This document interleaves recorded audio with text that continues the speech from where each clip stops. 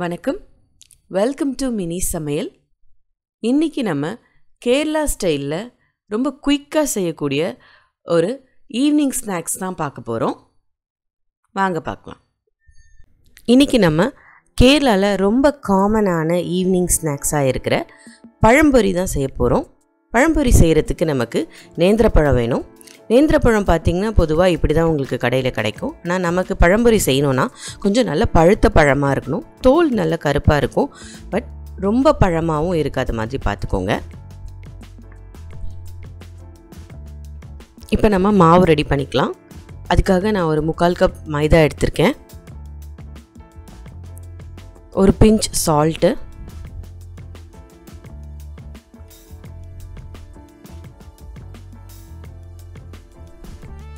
ரெண்டு ஸ்பூன் அளவுக்கு சர்க்கரை எடுத்திருக்கேன்.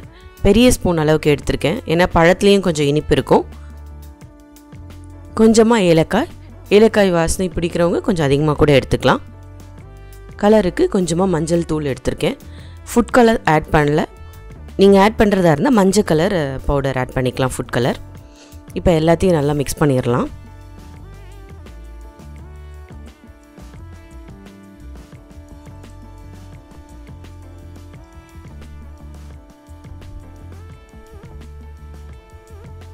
தேவையான அளவுக்கு தண்ணி போட்டு நம்ம மாவு ரெடி பண்ணிக்கலாம்.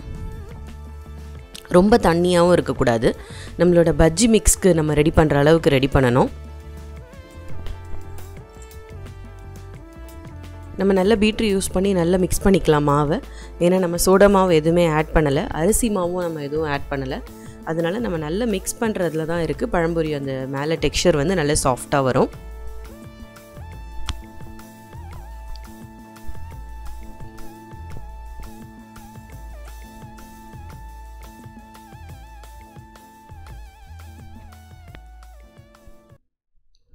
நம்ம நல்லா மிக்ஸ் பண்ணியாச்சு இப்போ.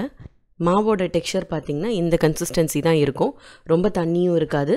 ரொம்ப மாவு பதத்துலேயும் இருக்கக்கூடாது. இப்போ நம்ம நேந்திரப்பழம் கட் பண்ணிக்கலாம். நேந்திரப்பழம் கட் பண்ணும்போது ஒரு பழம் வந்து ஒரு மூணுலேருந்து நாலு ஸ்லைசஸாக நம்ம கட் பண்ணிக்கலாம். ரொம்ப மெலிசாகவும் இருக்க வேண்டாம். நான் கொஞ்சம் பெரிய பழம் எடுத்ததுனால ரொம்ப ஃபுல் சைஸாக இல்லாமல் நான் ரெண்டாக கட் பண்ணிவிட்டு நேந்திர பழத்தை அங்கேருந்து ஸ்லைஸ் பண்ணியிருக்கேன். கூடவே நான் இன்னொரு பழத்தை கொஞ்சம் சைடு ஷேப்லேயும் கட் பண்ணி வச்சுருக்கேன். ஸோ ரெண்டு ஷேப்பில் நான் இப்போ கட் பண்ணி வச்சுருக்கேன்.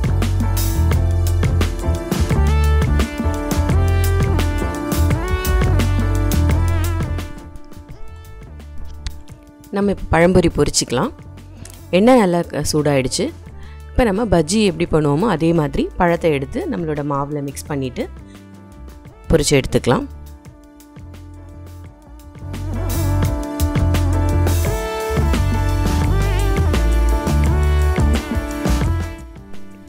இந்த ஸ்டேஜில் அடுப்பு கொஞ்சம் மீடியம் ஃப்ளேமில் வச்சுக்கோங்க. நமக்கு ரொம்ப வெந்துட்டு டக்குன்னு கருகிடக்கூடாது.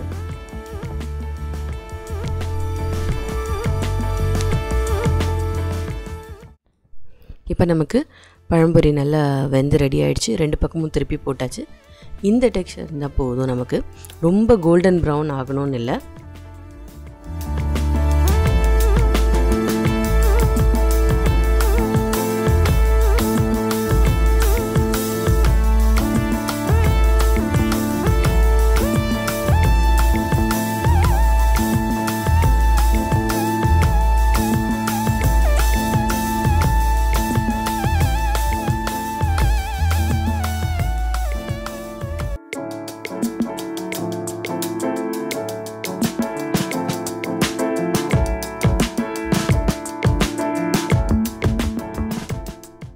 நம்மளோட சுவையான பழம்பொரி தயாராகிடுச்சு பாருங்கள் உள்ள பழம் எவ்வளோ நல்லா வெந்திருக்குன்ட்டு.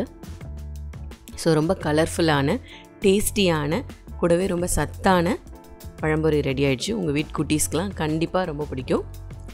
ட்ரை பண்ணி பாருங்கள் ட்ரை பண்ணி பார்த்துட்டு கமெண்ட்ஸை ஷேர் பண்ணுங்கள் நம்ம சேனலை மறக்காமல் சப்ஸ்கிரைப் பண்ணிவிடுங்க தேங்க்ஸ் ஃபார் வாட்சிங்